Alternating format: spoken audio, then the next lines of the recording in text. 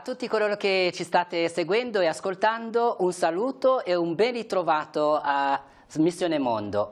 Ancora una volta siamo con degli ospiti che potete eh, riconoscere perché ce l'avamo già visti e quindi ripeto e accogliendoli insieme a voi abbiamo la signora Daniela, la dottoressa, ben trovata di nuovo Grazie. e poi accanto a lei c'è Arina e ben trovata anche Alina, davvero è un piacere sempre avervi qui con noi.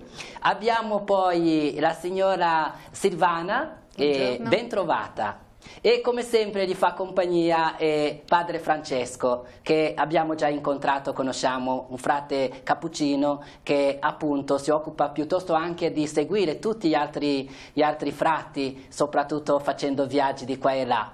E come sempre riunisci in questo momento soprattutto quel viaggio che avete fatto in Centrafrica e tutte le missioni che avete incontrato.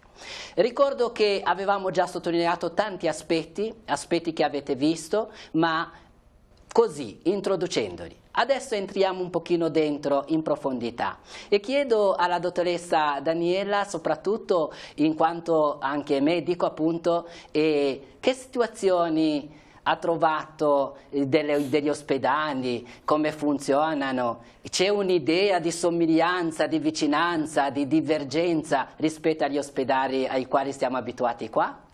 Allora, noi siamo andati in tre ospedali fondamentalmente, eh, a Boar, eh, all'ospedale di Maigaro, eh, che è gestito da, da una nostra amica, eh, una suora, ehm, Sor Giulia, e, ehm, poi siamo andati all'ospedale di Ngaundai, eh, nell'estremo nord, eh, un ospedale statale, ed infine siamo stati nell'ospedale di Boccaranga, che è quello appunto eh, in cui dicevo l'altra volta eh, i miei genitori avevano dato, diciamo, questo, avevano costruito un padiglione eh, nel lontano 1980.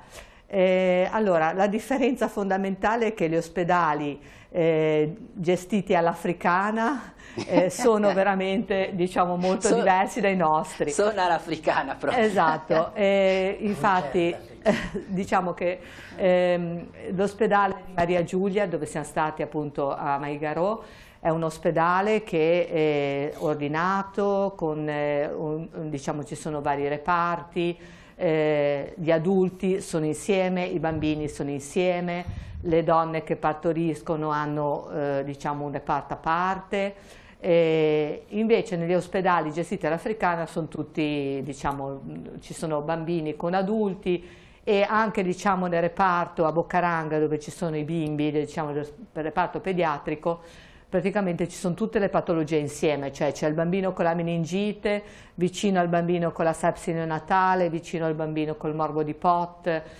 e quindi insomma diciamo che dal punto di vista anche igienico ed, ed epidemiologico, cioè giusto per la trasmissione delle malattie, non è proprio il massimo. Ovviamente anche dal punto di vista del, delle medicine, dal punto di vista dell'organizzazione, eh, diciamo c'è una bella differenza e, e direi che la differenza fondamentale sta nella pulizia, ecco proprio. Abbiamo visto le peggio cose all'ospedale di Ngaundai, in cui veramente diciamo che le norme igieniche, anche più semplici, non sono rispettate non entro nel dettaglio, però eh, vi dico che veramente diciamo che ehm, c'è una bella differenza. Eh, ricordiamo soprattutto questo, perché eh, quello che dicevamo l'altra volta, proprio di una povertà culturale, perché un po' di ordine, un po' di pulizia non chiede tantissimo eh, dal punto di vista effettivo, pratico così, eppure mentalmente chiede tantissimo. E da questo punto di vista, come dicevamo, sicuramente l'importanza della presenza delle missioni e di quello che fanno, la, la, presenza di un ospedale invece col poco, perché poi comunque rimane sempre poco, è ordinato, pulito. E questa è una, eh, penso che è un apporto molto importante da dare che proprio è quella testimonianza che si dà più che con le parole, proprio con l'esempio e questa credo che sia molto importante anche su questa cosa. Ecco, da questo punto di vista, eh, padre Francesco.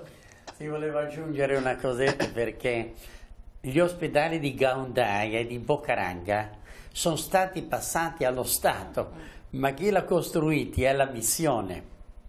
Ecco perché, ritornando al discorso che facevamo prima, cioè chi gestisce la cosa pubblica, e questo ho insistito anche con i frati cappuccini centrafricani e ciadiani, perché noi abbiamo frati del Chad e frati cappuccini, ho detto voi dovete essere la coscienza critica nel vostro paese, perché se no il messaggio evangelico rimane una bella idea, cioè non, bisogna far passare delle idee che diventino fatti concreti.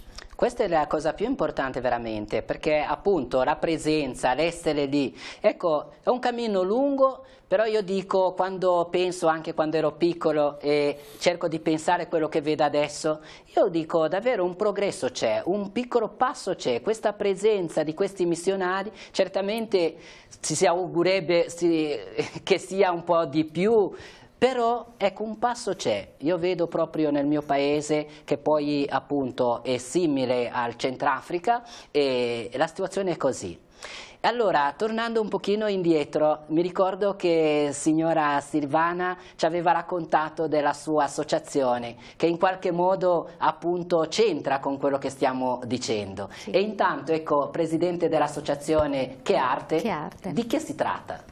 L'associazione Che Arte è nata nel 2011, è nata diciamo, da, da alcuni viaggi che ho fatto in passato io ho lavorato per la formazione nelle scuole sull'aspetto artistico, dell'espressività. Io in questo viaggio in particolare non sono andata non per l'associazione, ma naturalmente poi vedendo quello eh, che accade e incontrando le persone non potevo non, non vedere ecco, quello che sta nascendo di, di, molto bello e che può essere in qualche modo legato all'associazione.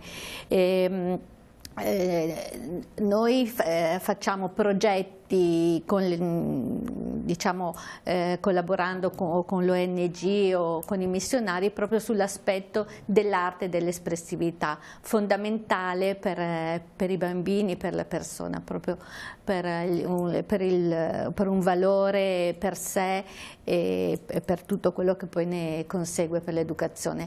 In particolare a Buar Così abbiamo incontrato fra, un frate, frate Benedict polacco, eh, che ci ha raccontato di un, di un, progetto bellissimo che è quello di, di realizzare la prima scuola di musica eh, in Centrafrica. Lui aveva già fatto un'esperienza eh, di qualche mese con i bambini e la sta iniziando proprio adesso a febbraio eh, hanno iniziato i, i, primi corsi di musica con i bambini eh, negli, negli, spazi che esistono già le aule scolastiche alcuni strumenti musicali a Bois. E abbiamo proprio in quei giorni, casualmente, che diciamo non è un caso, abbiamo incontrato Anne, che è una musicista, una professionista polacca, che starà cinque mesi e cominciano a fare dei corsi di musica, hanno già delle classi eh, con 50 bambini divisi, bambini dai 6 ai 12 anni. L'idea è proprio quindi quella di, non l'idea del progetto perché esiste già eh, il progetto di realizzare un conservatorio e quindi ah. partendo dalla lezione di musica, di canto, di danza e strumenti musicali. È un progetto meraviglioso anche perché sappiamo, ve lo sapete meglio di noi, come la musica, la danza, il movimento è già dentro l'anima dei bambini. Noi abbiamo visto i bambini di, di, anche di un anno, di due anni che danzano, che cantano, che si muovono con una facilità incredibile Ecco, questo è una, una cosa bellissimo. appunto, un altro, non, in senso buono dico, un altro luogo comune ma giusto perché si dice che proprio la danza, la musica è nel sangue africano e questo penso che l'avete visto ed sì, è molto sì. bello, ci sono veramente delle ricchezze e delle potenzialità spesso sepolte lì nella povertà che uno non sa e che poi invece se si può aiutare per farle emergere è un'altra cosa molto importante. E su questo eh, ricordo una cosa che abbiamo sempre eh, ripetuto nel nostri, nelle nostre trasmissioni, cioè quando dicevamo che la missione riguarda tutti, ognuno può fare qualcosa nel suo ambito, nella sua vita, in quello che si occupa, senza dover andare o fare non si sa che cosa. E questo è un esempio molto importante che da un'associazione appunto nato per degli obiettivi precisi così, però si allarga e sì. Prende appunto campo anche nella testimonianza missionaria, proprio nella capacità di dare quello che, quello che mm -hmm. uno sente e ha nel cuore. E grazie per questo aspetto perché è un esempio preciso, concreto su questa cosa che dicevamo spesso, che diciamo sempre, che ognuno di noi davvero nella sua vita può donare qualcosa, può spendersi per il bene degli altri. Ecco, a questo proposito appunto il viaggio che avete fatto è un viaggio che sicuramente avete il sogno di continuare appunto, dicevamo, con questi progetti e, Ecco, quali altre cose, quali altri aspetti un pochino per continuare, per non dimenticare questo viaggio? Non so, eh, Alina, eh, cosa... Io posso aggiungere a livello educativo, diciamo, che l'educazione comunque è la risorsa primaria per lo sviluppo appunto di un popolo. Eh, nel nostro viaggio a Bocaranga abbiamo incontrato questa congregazione di suore di, suore di Santa Maria Antida quindi Suor Emma, Suor Maria Elena, Suor Elianne hanno appunto questa, queste scuole e mm, loro hanno questo progetto di accompagnare delle ragazze meritevoli eh, sino all'università no? e questo ha ovviamente un, un, costo per cui a noi è, così, ha, mm, è proprio interessato riuscire eh, comunque ad aiutare queste ragazze perché comunque eh, lo sviluppo anche di quel popolo lì può essere proprio eh, l'educazione e il fatto che queste ragazze, proprio l'educazione della donna, perché la donna lì è proprio un, un pilastro della famiglia, per cui in quello può essere veramente una, una risorsa gra, gra, grande, molto grande, per cui la possibilità che queste ragazze riescano ad arrivare all'università. E la cosa interessante che ci dicevano è che comunque sia le ragazze ma comunque anche i ragazzi che comunque riescano ad arrivare all'università che poi possano fermarsi a lavorare in Centrafrica. Perché lì spesso succede che uno arriva all'università e poi è più semplice magari andare in un altro paese vicino per una questione economica, mentre invece è educativo che lì dicano ti aiutiamo, ti portiamo sino a fare l'università, quindi a realizzare un sogno, a realizzare una professione tua, però garantisci poi che almeno un po' di anni tu li ridai al, al tuo paese, perché e questo si sviluppi. Credo che è una bellissima intuizione questa, anche perché di, tra tutte quelle cose che dicevamo sulla povertà uh, africana, che è una povertà culturale, eh, penso padre Francesco eh, sa come ad esempio eh, troviamo delle persone che magari non hanno neanche un paio di, di sandali, ma hanno un cellulare a volte capita e non si sa come perché poi l'economia come dicevamo fa il suo gioco e magari invece di portare di fare costruire un pozzo d'acqua per le persone che non hanno l'acqua si divulga anche gli apparecchi. Ecco su questo credo che eh, intanto non so se la situazione è veramente così perché io mi, mi, mi, immagino una situazione simile a quello che vedo in Burundi, proprio una dislocazione eh, mentale e quindi anche persone che studiano poi magari non sono capaci di mettere a frutto eh, proprio del posto di quello che hanno imparato.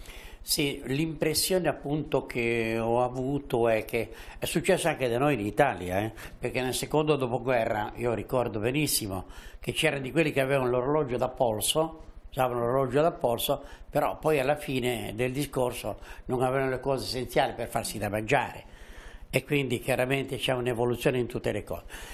Noi diciamo così eh, nell'attività di promozione sociale in Centrafrica siamo partiti con, eh, te ne accennavo prima, con i catechisti, le scuole di catechisti, affiancare, cioè nella Chiesa non ci sono solo i religiosi, frati, preti, suore, ci sono i battezzati e lì hanno fatto una bella intuizione perché hanno fatto le scuole eh, per i catechisti.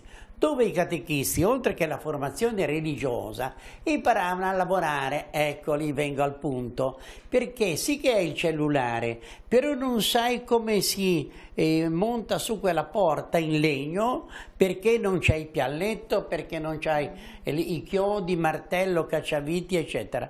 E allora, ecco, ritorniamo un po' a quello che avevamo fatto tanti anni fa, scuole, arti e mestieri, per i maschi e per le femmine.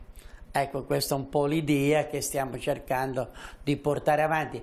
Certo, purtroppo la gente, eh, il popolo è rimasto eh, bloccato per tutte queste guerriglie che si sono succedute, colpi di Stato, ancora adesso appunto, come dicevamo, c'è tutta una situazione di tensione, però speriamo bene per il futuro. Bene, e siete tutti praticamente persone che siete già un po' da tanti anni in ambito proprio di, questa, di questo dono di sé attraverso le missioni e sostegno così. Però volevo chiedere davvero anche da quest'ultimo viaggio, perché ogni viaggio in qualche modo è anche a sé. Ecco, volevo chiedere che cosa sul piano personale proprio dentro di voi, eh, perché sono anche le cose più importanti che a volte cambiano veramente il cuore. Ecco, che cosa questo viaggio ha significato un po' sul vostro sentire, sulla vostra vita umana e anche di fede. Ecco. Daniela.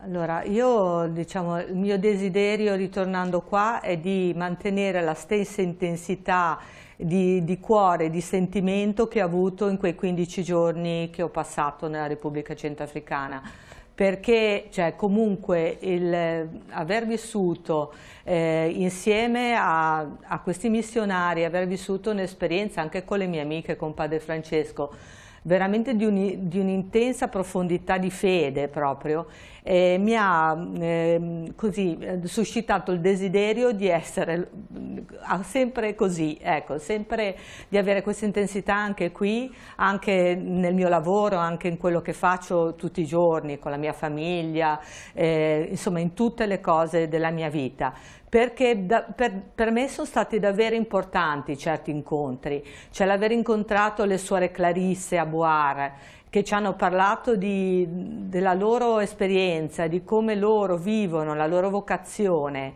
eh, di, eh, contemplativa nel, questo, nel centro dell'Africa. Mi ha colpito moltissimo, lo stesso mi ha colpito moltissimo il mm, padre Agostino a, a Buar, cioè la serietà con cui ehm, eh, lui eh, comunque insegnava ai ragazzi, ai novizi, perché il, diciamo, eh, lui è il, non so come si dice, capo? Sì, responsabile dei novizi, ah, della formazione dei novizi. E mi ha colpito molto, al di là delle parole cioè, che, e, e, dei fatti che abbiamo ascoltato da loro, perché ci ha raccontato tutti eh, dell'esperienza della guerra, di come comunque eh, hanno subito proprio questi attacchi, ma personali, perché comunque sono entrati dentro nelle missioni i ribelli, ah, sì. quindi i Seleka hanno, eh, addirittura abbiamo visto diciamo, i fori delle, de, de, de, dei proiettili sulle pareti delle missioni, quindi mm, cioè, eh, il, ci, ha, ci, ha, colpito molto il coraggio e, ripeto, la perseveranza di queste persone, la perseveranza nel rimanere lì accanto ai poveri e abbiamo capito che questo coraggio e questa perseveranza venivano solo dalla fede, cioè grazie che non c'era della... un altro motivo. ecco. no, grazie davvero perché al di là delle parole anche l'entusiasmo con il quale lo dici eh, si, si, vede proprio che c'è, qualcosa di profondo ed è importante che, eh, tenere questo fuoco acceso sempre. Ecco, accanto a lei c'è la signora Lina, sì? Secondo me viaggi di questo tipo comunque allargano sempre la testa, ti fanno veramente vedere le cose in maniera diversa. Per cui li consiglierei anche a qualcuno che ho in mente io, a qualche ragazzina, qualche... perché farebbero bene secondo me, a molta gente che transita qui in Italia o comunque qui in Italia. No, sicuramente eh, mi porto nel proprio nel, nel cuore, nella, nella, testa, negli occhi, il loro sguardo, il loro modo di trattare le persone, il loro modo di trattarsi tra di loro, sicuramente, e la speranza che hanno nonostante comunque vivano in un contesto molto critico. Per cui veramente questo sguardo e questa speranza che loro hanno comunque ci hanno trasmesso tantissimo. Per cui questa è una cosa notevole. Ecco, senza me. dire tante cose, ma proprio col modo di essere, con lo sguardo che hanno sulla vita, che poi trasmette veramente tanto. Ed è molto importante quello che lei diceva, eh, veramente di consigliare. Io ho sempre detto dentro di me che il regalo più grande che posso offrire a qualcuno di qua, perché mi hanno dato tanto, sarebbe quello veramente di portarlo con me un po' qualche giorno eh, nella mia terra, come è avvenuto anche per alcuni, perché so che di, di legare qualcosa, qualcosa che va direttamente al cuore. Vero Daniela? Silvana. Silvana. Eh, sì, per me è la stessa cosa e anch'io mi porto ho, ho con me proprio queste immagini, questi nomi e volti che, da non dimenticare.